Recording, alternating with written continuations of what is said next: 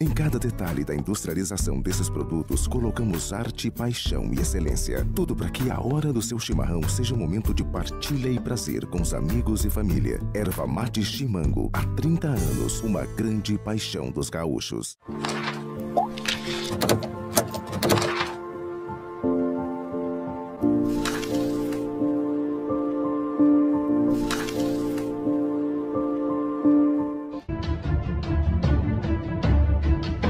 Semana que vem estaremos aqui entrando no centésimo dia do nosso governo.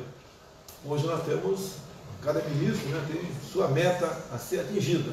Pelo que eu vi até agora, é, ministro Heleno, ministro Moro, né, é, 95% da meta vai ser atingida.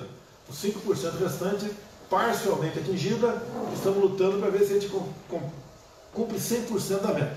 Adiantar um item aqui que é de conhecimento de todos vocês. O 13 terceiro, o Bolsa Família, será anunciado a semana que vem, para atingir diretamente né, os mais necessitados. De onde virá o recurso? Do combate à fraude, que existe e muita fraude. Olá! O Detran lança amanhã a nova carteira de identidade. Além do CPF e do número do PIS ou PASEP, a nova identidade poderá ter número de integração social, NIS, cartão nacional de saúde, título de eleitor, carteira de trabalho, carteira de habilitação e certificado militar. Para acrescentar esses dados, será necessário apresentar originais ou cópias autenticadas dos documentos. Outra novidade é a inclusão do tipo sanguíneo e fator RH do nome social com validade em todo o país e de ícones para pessoas com deficiência. A primeira via continuará de graça e as identidades antigas continuam valendo, mas quem pedir o novo modelo terá que pagar a taxa de emissão da segunda via, no valor de R$ 38,58.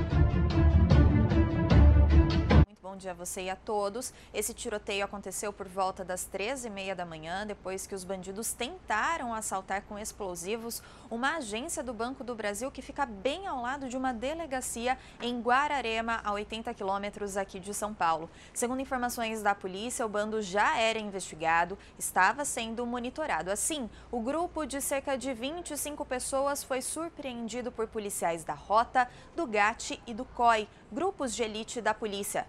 Eles estavam em cinco carros blindados. Na fuga, um dos criminosos invadiu um condomínio e fez uma família refém, mas acabou morto pela polícia. Outros nove também morreram em troca de tiros com policiais militares. O restante do bando conseguiu fugir. A agência do Banco do Brasil, Marcelo, ficou destruída, mas, segundo as investigações, os bandidos não conseguiram levar o dinheiro.